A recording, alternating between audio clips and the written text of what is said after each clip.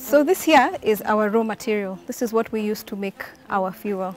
So when you think about fuel, usually most of the time there's firewood, there's forests that need to be cut. So we don't do that. The waste that you're seeing here comes from farmers and it comes from after they have harvested their food harvest. There's these fibers that are left in the field and they're usually such a nuisance to the farmers. So what we do here in our factory, we then do the rest of the processes, which entails taking this and mixing it with other substances and uh, refining it into the fuel. The reason why we call our fuel life-saving fuel is because with our fuel, mothers no longer have to inhale smoke.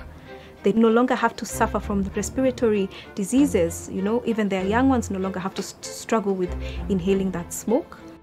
So she's about ensuring that there's gender empowerment, that women's lives are transformed, that society in itself is transformed by ensuring that we are protecting the resources that we have.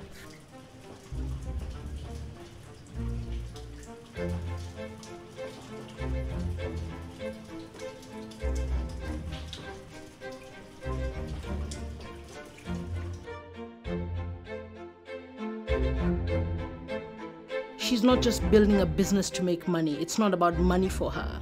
It's about changing lives. It's about ensuring that she has impact in society. And very few people are genuine about that.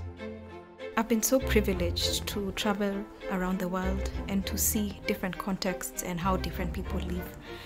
And one thing has become very clear that as Africans, if we do not take charge to solving our own challenges here, nobody's going to do it for us.